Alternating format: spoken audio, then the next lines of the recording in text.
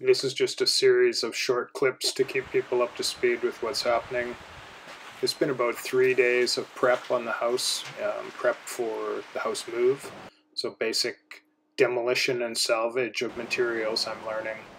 One person from the house moving company has been at the house every day and basically started with um, demolishing walls in the basement, opening up holes in the walls, removing drywall to let light in. There's no power, there's no heat, there's no water. Um, so he's he's got to get light in naturally. Uh, so he's removing drywall, salvaging siding, salvaging lighting fixtures, salvaging plumbing fixtures, anything that's kind of worth anything. He's taking the time to pull it apart and um, I guess some of it I get to keep, but some of it he'll probably take with him, and some of it might go to the new owners of the house to help them when they go to put it together again. I believe that's their plan for the for the siding, all which is great because it means it doesn't go in the landfill. Um, we're looking at photos here. This is still, I think, the first day. He's removing siding. He's uh, you'll see inside. He bashed a bunch of holes in the walls as it goes on, you'll see sort of progressively more and more debris in the inside as over the days he began to take more and more things apart. Sorry for the shaky camera work, I'm learning how to do this. I haven't put a lot of editing effort into this one, just strung a bunch of clips together. This is all from the first day still.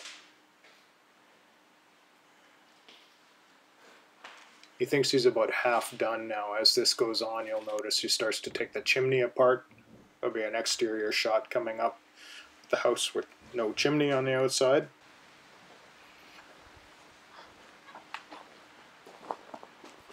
The house has got a big masonry firebox and chimney system that goes all the way down from a footing below the basement all the way up through the center of the house.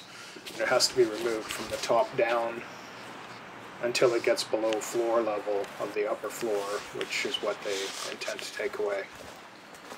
That hole in the wall there will be for one of the big long beams that goes under the house for when they lift it.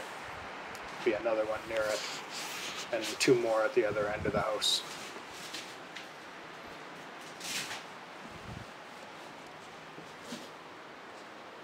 A few close-up shots for those that are interested. Just um, in, interesting the difference in building materials from 1961 till now sheathing on the outside is plank, not OSB or plywood. House wrap is tar paper, not Tyvek.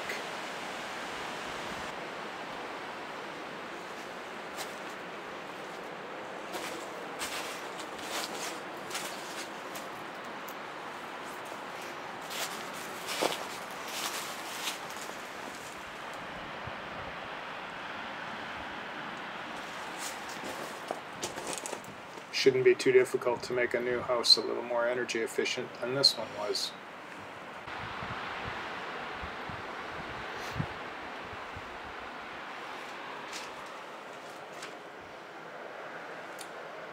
He's even saving 2x4s. Um, he's not pulling the nails out of them, but he's um, tidying them up and will will make use of those somehow. Give them away. I'll keep them for projects or we'll use them in the construction for I don't know odds and ends, things that are you just need waste lumber for. This is the current day today. Uh, you see the chimney is gone. If you look back earlier in the clip, you'll see a three foot tall brick chimney that used to be there. I gotta learn how to get this camera to focus. Chunks of chimney. I've got the truck backed up to the front door there because I was taking my um, fireplace insert out. So I'm going to try to sell that.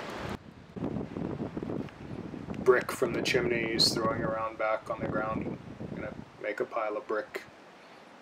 We need to segregate all of these materials because um, it's a lot cheaper to dispose of it if you um, have it all segregated as opposed to a big mix. In fact, I don't think they'll let you bring a big mix to a landfill. Drywall needs to be separate from bricks, separate from wood materials.